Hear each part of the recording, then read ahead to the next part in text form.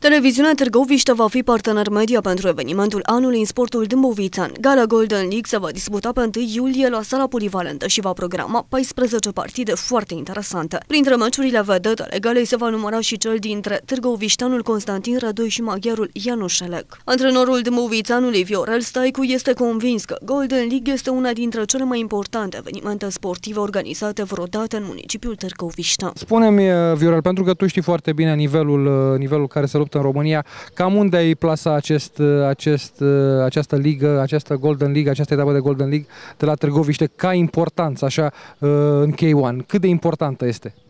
Pentru noi? Pentru, pentru noi, în primul rând. Pentru noi, păi cea mai importantă, pentru mine, pentru Târgoviște nu mai zic, e clar, n-a fost uh, niciodată un eveniment de asemenea învergură. Uh, faptul că avem două centuri europene în joc uh, de kickbox, faptul că aducem uh, sportivi din uh, străinătate să se lupte cu românii noștri. Uh, Cristian Milea este un luptător foarte bun, foarte titrat și vrem să-i ridicăm și pe ceilalți. Eu am un sportiv din, din, de la mine de la club de MMA, vreau să aduc și MMA în galele astea Golden League este un brand care va avea și kickbox, și thai box și MMA.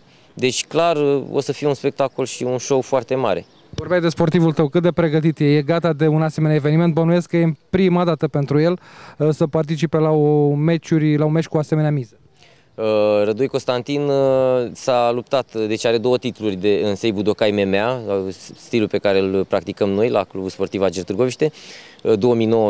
Este prima lui participare la o, o gală profesionistă, dar deci, poate să fie învins, dar ca să mănânce bătaie, cred că s-a săturat de la mine destul. Deci e, e, e antrenat. Acum să vedem, să sperăm.